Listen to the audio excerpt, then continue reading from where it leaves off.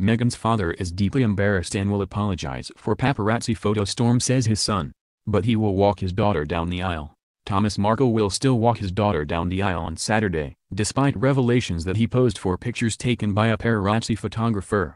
His son, Thomas Jr., has said his father plans to apologize to Meghan Markle for the stunt that has left him and his family deeply embarrassed.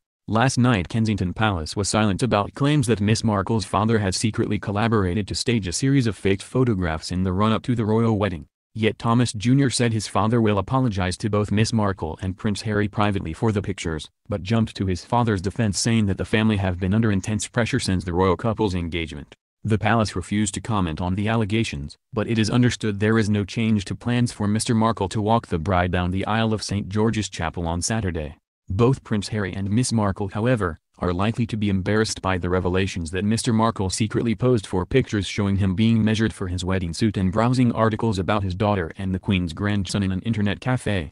Yesterday the Mail on Sunday reported that Mr. Markle, 73, an award-winning former Hollywood lighting director who now lives a reclusive life in Mexico, had worked with U.S.-based photographer, Jeff Rayner, to set up the lucrative photo deal. CCTV footage showed Mr. Markle arriving at an internet cafe with the photographer. Minutes later the pair are seen preparing to snap the future royal's father while he is sitting at a computer. A Mail on Sunday investigation established that the internet cafe pictures are just part of a series Rayner took of Meghan's father. They have been published in newspapers, magazines and on websites around the world. Mr. Markle and Rayner, a 44-year-old Los Angeles-based photographer, reportedly set up at least four photo shoots. In all of them Mr. Markle appears to be unaware they are being taken and yet they were in fact contrived and shot with his cooperation. It is not known whether Mr. Markle was paid for his involvement, but the photographs are said to have sold for £100,000 across the world. The disclosure came after warnings to the media from Kensington Palace about alleged harassment by photographers of both Miss Markle's parents. Shortly after his relationship with Meghan became public in 2016, the prince made a heartfelt plea for the media to respect the privacy of Meghan and her family. Privately there was some concern last night over Mr. Markle's ability to cope with the pressure of this week's royal wedding. It is understood that he has long struggled to handle the immense global interest in his daughter's romance. Thomas Jr. told the Mirror, People are quick to judge but they have no idea how much scrutiny we live under. Ever since Meg's relationship with Harry was made public two years ago we have lived our once normal lives under the spotlight every second. And he is said to be feeling significant stress about this week's events, which will see him travel to the UK, take tea with the Queen and meet up with Meghan's mother, his ex-wife Doria Ragland. Standing room only. Meghan and Harry's wedding feast will not be a seated affair as it's revealed trendy bowl food will be served as guests mingle. Prince Harry and Meghan Markle will not have a sit-down wedding breakfast after their ceremony on Saturday, but have plumped for trendy bowl food instead.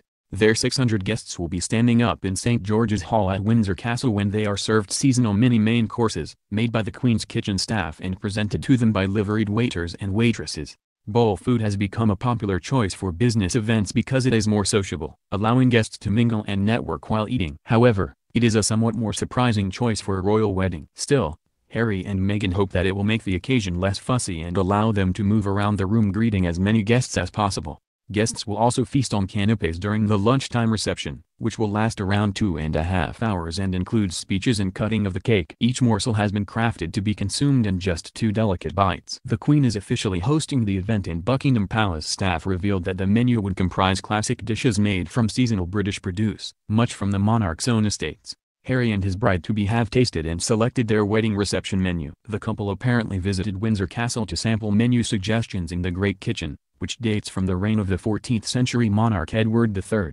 It is believed to be the oldest working kitchen in the country, having served more than 30 monarchs. Royal chef Mark Flanagan is leading the 30-strong catering team and said, the day of the wedding has fallen very kindly for us. All the British vegetables are just coming into season. And that's been a point of focus for us. We know the couple wanted us to make sure we used all of the local seasonal produce as much as possible throughout their menu. And this recent good weather is really helping us to achieve that. He added the couple have been involved in every detail. Meghan is a keen foodie who used to run her own lifestyle website which featured her favorite recipes and restaurants. She also shares a love of organic produce with her future father-in-law, Prince Charles. Mr. Flanagan would not discuss the dishes in detail but produce such as asparagus, peas and tomatoes are in season, providing a wealth of options for the chef, who has worked with some of the world's best, including Michel and Albert Roux.